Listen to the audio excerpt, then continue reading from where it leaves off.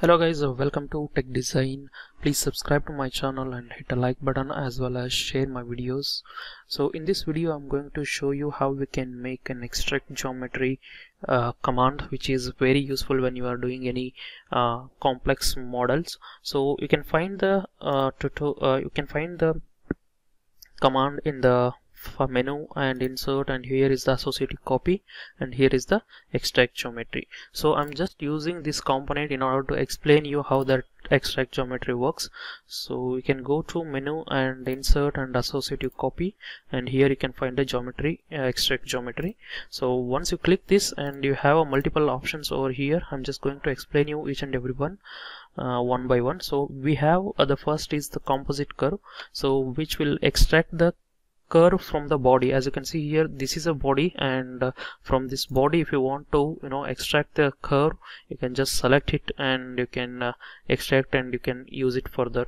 So uh, either if you, you, can extract it here or else uh, there is a single curve option. If you want to extract a single curve you can just go ahead and uh, select the single curve and uh, click ok and it will extract the curves. So we have multiple options over here. So associative is nothing but uh, the whatever the parent curve will be there it will be associative to uh, the extracted geometry. For example I'll just hide everything here uh, whatever the sketches. Okay data planes and facet body and sheet bodies. Okay. So now what I will do is I'll just go to extract geometry again menu insert associated copy extract geometry so as you can see here composite curve and I'm just going to select a single curve here. And now I'm just going to select this curve. As you can see here this is a circular curve. And we have an option here hide original. So if there is an original curve which is existing since we are selecting a edge from the body uh, we don't have an uh, uh, original uh, curve here. So this is this doesn't matter for us. So associativity I'll just explain you. So if this is clicked and you'll click OK so there will be an curve which is uh, uh, generated. This is uh, an extracted gener extracted uh, curve. So as soon as when the this model is updated for example there is a this uh, there is a turbo turbocharge which which is of a diameter around 100 mm.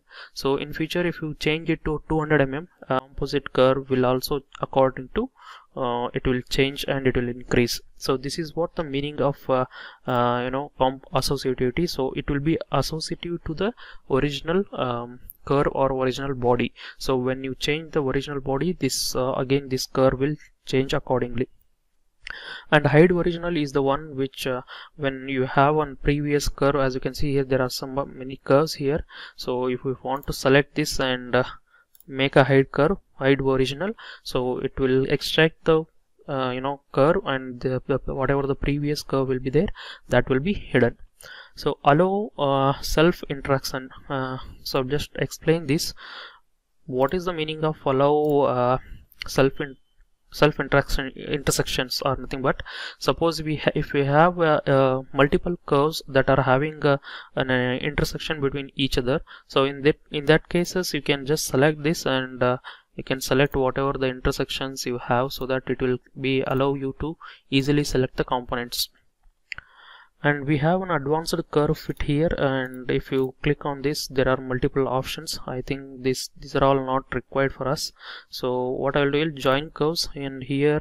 Suppose if we are selecting a multiple curves then uh, you have these options. Um, no no joins. So whatever the component whatever the curves you are selecting uh, will not be you know joined. And cubic is the one which if you are selecting a n number of uh, curves in that case mm, if you select a cubic then uh, the all the curves n number of curves will be splitted into three curves and there is a quintic uh, you can see here quintic is the one which will convert it into a five number of parts number of uh, curves. So in general is the one which uh, it will go according to a geometry.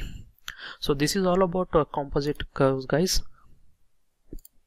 How we can extract and how we can work with the composite curves. So as soon as you click ok and there will be an uh, composite curve which will be you know generated. As you can see here this is the curve and once you select this curve you can uh, check the revolve and extrude which is highlighted. Uh, it means that it is completely associative with these bodies. As soon as these bodies are changed so this component uh, composite curve will uh, change according to that. This is the end of the one of the part of tutorial. Guys please check the description for the next video link. Or else you can go to my channel playlist and you can find the next part. Thank you guys. Please subscribe to my channel and hit like button as well as share my videos